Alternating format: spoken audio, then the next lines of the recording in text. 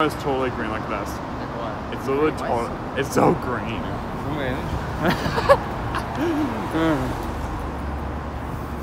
Yeah, this Dufferin Tunnel opened 12 years ago or something.